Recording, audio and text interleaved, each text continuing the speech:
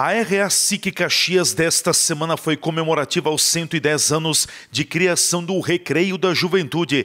No evento desta segunda-feira, a atleta do Recreio da Juventude, Larissa Rodrigues, foi a palestrante do dia. Ela falou aos presentes de cadeira de rodas. Portadora de má formação congênita, Larissa contou sua vida aos presentes no auditório da RA SIC Caxias do Sul. Mesmo com tantas dificuldades, Larissa Larissa superou diversos obstáculos e neste ano sagrou-se medalhista mundial. Ela disse que conquistar essa medalha foi um feito muito especial em sua vida. Larissa Rodrigues conversou com a imprensa após o encerramento da RA SIC desta segunda-feira, 12 de setembro. Ela declarou que foi muito prazeroso estar junto à classe empresarial caxiense. Uh, foi muito bom foi, é, foi prazeroso estar aqui com o pessoal, uma oportunidade muito diferente. Eu fiquei realmente muito feliz de poder é, contar da minha vida esportista como atleta, os obstáculos que eu venho tendo que eu tive para chegar onde eu cheguei e os, os obstáculos que eu vou ter é, diariamente na vida e assim futuramente também. Então foi muito bom poder contar também das minhas conquistas e estar com o pessoal também.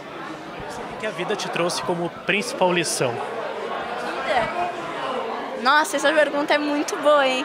Mas eu acho que viver intensamente, independente da nossa dificuldade, seja ela física ou qualquer dificuldade que nos impeça, mas viver intensamente todos os dias e aproveitar todos os, ah, os momentos e as oportunidades que a vida nos, nos propõe.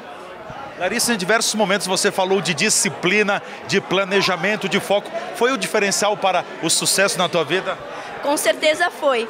É, eu mentalizei muito tudo o, o, aonde eu cheguei. Eu queria chegar uh, e conquistar tudo que eu conquistei, mas eu precisei ter muita disciplina é, e muita força de vontade, mesmo em momentos que eu não tinha, mesmo quando eu não tinha motivação.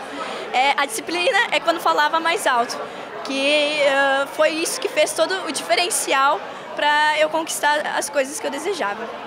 Conquistou já as medalhas do Mundial. Agora o grande, o grande objetivo é chegar na Paralimpíada. Com certeza. É, Estou treinando muito para isso. Eu ainda vou ter mais um Mundial para competir.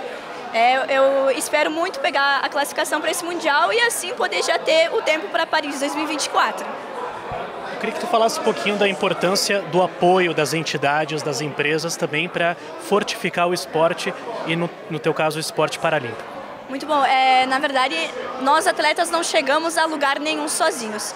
E é muito difícil ter patrocínio, ter empresa que apoie um atleta, seja quando inicia o de alto rendimento, alto rendimento é um pouquinho mais fácil, ainda mais é, no movimento paralímpico, porque as pessoas assim não têm muita vivência, muita noção do que é um atleta paralímpico, mas nós também representamos é, todos os brasileiros como um atleta olímpico. Então eu acho que ter mais é, essa visão que nós sim é, nos dedicamos diariamente como qualquer outro atleta, mesmo sendo paralímpico, e as empresas realmente querer apostar em um atleta, seja ele é, em competição ainda nacional ou, qualquer outra ocasião internacional também. Então acho que ter esse apoio e acreditar é, no início do atleta.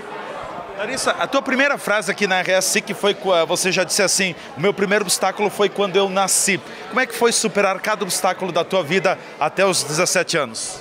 Cara, eu, eu na verdade enfrento os obstáculos da vida assim aleatoria, aleatoriamente. Então, eu tenho obstáculos e eu vou enfrentando. Eu acho que isso já é algo muito natural para mim. Mas eu acho que sim, esse foi o meu primeiro obstáculo, mesmo que eu não lembre, mas já foi algo um diferencial na minha vida estar viva. Então eu acho que a vida é isso. Eu tenho obstáculos e eu preciso enfrentar eles todos os dias. Uma última questão de minha parte, as emoções, duas grandes emoções na tua vida, a medalha na Olimpíada e também com a tua mãe. São as duas maiores emoções até agora? Com a tua mãe. Ah, sim, foram as minhas maiores emoções, com certeza. Foi, é, realmente toca muito e é muito emotivo quando eu falo sobre isso. Larissa Rodrigues foi aplaudida de pé pelos presentes na RA SIC Caxias do Sul da segunda-feira, 12 de setembro. TV Serra Comunidade. Repórter Leandro Adamati.